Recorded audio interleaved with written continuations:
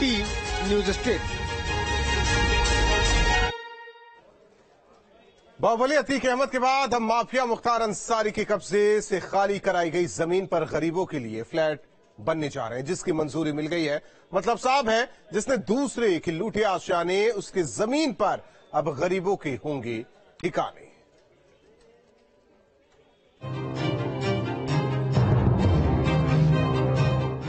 Mafia का आशियाना होगा गरीबों का ठिकाना।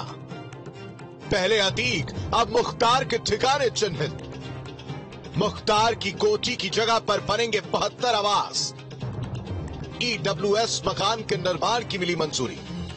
यूपी में जब सीओ की सरकार बनी है, माफियाओं को चुन चुन कर खत्म कर रही है। चाहे अतीक अहमद हो या फिर माफिया डॉन मुख्तार अंसारी। माफियाओं को लेकर योगी सरकार ने इस कदर कार्रवाई की। आज माफिया डॉन के पास न रुतवा रहा और न ही रसूख। लेकिन जिस रसूख के बल पर माफियाओं ने लोगों से आशियाने छीने थे, उनके ठिकानों पर सरकार अब गरीबों को बसा रही है। राजधानी लखनऊ में माफिया मुख्तार अंसारी की जो ज़मीन खाली कराई गई, जो भवन जिसको ध्वस्त किया गया था, अब उन जमीनों पर एलडीए गरीबों के लिए ईडब्ल्यूएस के तहत मकान बनाने की तैयारी में है। मैं इस वक्त वही मौजूद हूँ। प्रयागराज माफिया अतीक अहमद के बाद अब बांदा जेल में बंद माफिया डॉन और पूर्व विधायक मुख्तार अंसारी की ध्वस्त कोठी पर गरीबों के लिए आवास बनेंगे।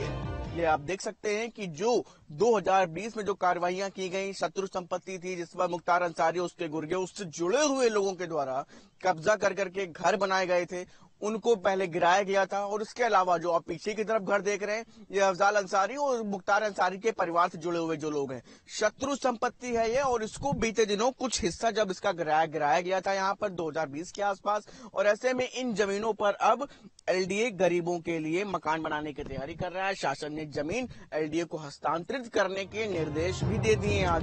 दरअसल करीब तीन साल पहले, यानी 2020 में लखनऊ के टालीबाग इलाके में जिला प्रशासन और एलडीए ने मुख्तार की ज़मीन को कुर किया था, जिस पर शासन की तरफ़ से ईडब्ल्यूएस मकान बनाने की मंजूरी मिल गई। मुख्तार की कुर्क की गई ज़मीन पर 2321 वर्ग मीटर में मकान बनाकर बहत्तर गरीब परिवारों को दिया जाएगा, जिसके लिए शासन ने ज़मीन एलडीए को हस्तांतरित करने का आदेश जारी कर दिया है। एलडीए ज़मीन पर करीब बहत्तर ईडब्ल्यूएस मकान बनाएगा। डालीबाग में सरकारी निष्क्रांत प्रॉपर्टी है, ये संपत्ति है। मुख्तार ने अपने परिजनों के नाम लेकर के कोठी बनवाई थी। 2020 में एलडीए ने इसके कुछ हिस्से को ध्वस्त भी कर दिया था और ज़मीन राज्य सरकार के पास आ गई।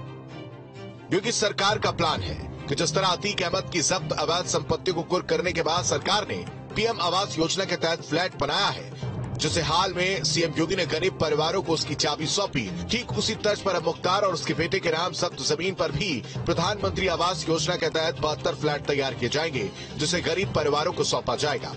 वही सरकार के इस फैसले से साफ़ है कि आखिरी तबके तक विकास करने का दावा करने वाली योगी सरकार माफियाओं को खत्म करने पर तुली है। वही गरीबों को हर सुविधा देने के लिए लगातार तत्पर है।